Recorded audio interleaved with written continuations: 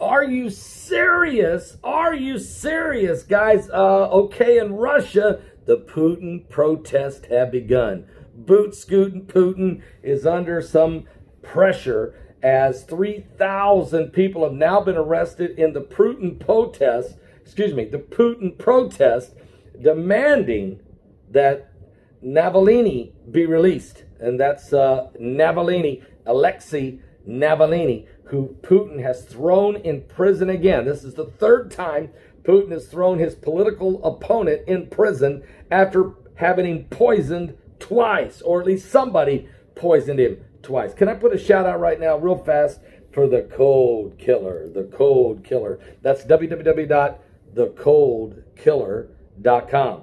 Guys, studies on space heaters are reporting to cause, space heaters are causing 50% of all home fires. 80%, 86% of the home fire deaths are because of faulty space heaters. These heaters can quickly rise to 300 degrees, and there's numerous cases where kids burn themselves by touching them or running into them. And the problem is that when these space heaters are too close to furniture or curtains or combustible items, they could tip over, fire could be started, and that's when you have smoke and fire alerts. So what I would like to do is tell you about a very safe minute. If it was to ever fall over, it stops. The thing is not, will not create combustible energy. It is an incredible technology. It's called the Cold Killer. Just go to www.thecoldkiller.com. That's www.thecoldkiller.com. All right, let me tell you what's going on here. 3,000 people have been arrested uh, at the protest demanding that Alexei Navalny be released by President Vladimir Putin. Okay? Now, Russian police arrested more than 3,000 people yesterday in a nationwide protest demanding the release of the opposition leader, Alexei Navalny, the Kremlin's most prominent foe. Why? Because he's a man of the people. And according to the group that counts political detentions, they say the protests in scores of cities all across Russia in temperatures as low as minus 50 degrees Celsius. That's 58 degrees uh, Fahrenheit. Actually, is I mean insane. Uh, it was highlighted how Nav- Navalny has built influence far beyond the political and cultural centers of Moscow and St. Petersburg. Matter of fact, in Moscow, an estimated 15,000 demonstrators gathered in and around Pushkin Square in the center city where clashes with police broke out and demonstrators were roughly dragged off by helmeted riot police officers and put in police buses and detention trucks and taken and beaten with batons and taken and thrown into camps. What?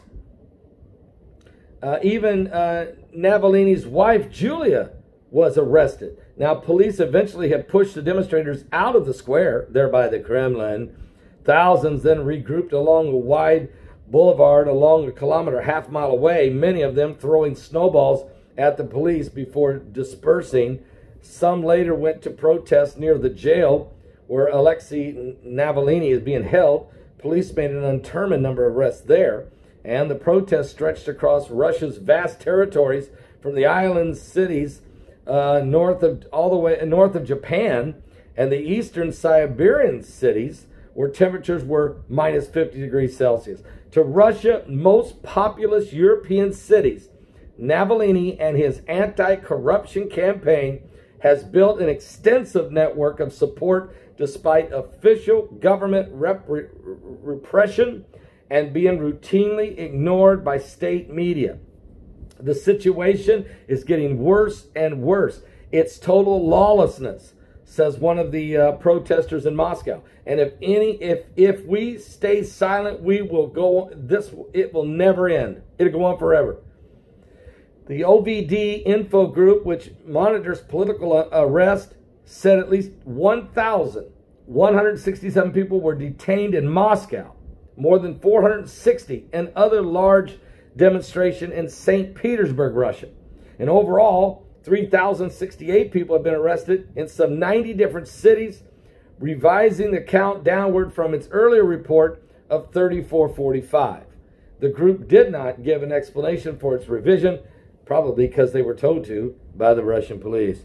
Anyway, Boot, Scoot, and Putin having a problem, and that is this the corruption, the uh, really the, the, the, the fact that he's no longer it's no longer a real democracy the fact that he's become the czar of Russia, the fact that, seriously, that he is raping that nation of its wealth and oppressing them again with that KGB style uh, mentality is just another head of this seven headed monster called the beast of the book of Revelation, chapter 13.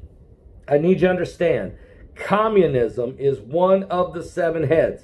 And this czar, this uh, type mentality, disguising itself as a democracy, it's really nothing more than a dictatorship cloaked in totalitarian uh, disguise.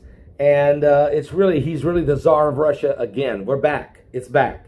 So let's continue to keep an eye on what's going to go on. Uh, I'm just telling you the facts, guys. They're throwing people in jail left and right. Uh, it's getting almost as bad as it is here in America. Give your life to Jesus Christ. We're running out of time.